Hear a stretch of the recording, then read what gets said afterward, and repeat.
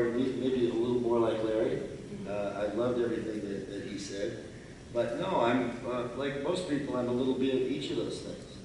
And I don't know that I'm necessarily looking for something. I was listening to Alec intellectualize his approach to things, and Larry a little bit too. And I know for sure that when I'm photographing, I'm not thinking at all. Yeah. Thinking is not what's happening.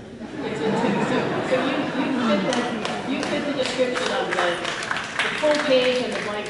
No, I, I, listen, I read history, I study that, I, I'm very much interested in current events. I don't photograph current events, but I know about them.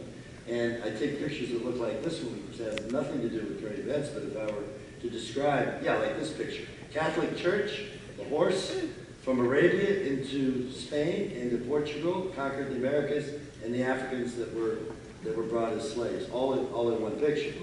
Uh, so there it is a picture. Yep. But uh, no, I've got all that stuff in my head, in my hard drive here, but when I'm actually photographing, I'm, I'm putting myself in Cuba. Yep. But like when I'm in a situation like this where there's no editorial reason for this picture whatsoever, no, I'm not thinking 99% of the time when I'm actually shooting. It's just a, I'm in the zone, something is happening that I can't even really describe. It's an incredible experience to have that. And it probably is the thing that keeps me going more than anything. Uh, certainly more than stage talks.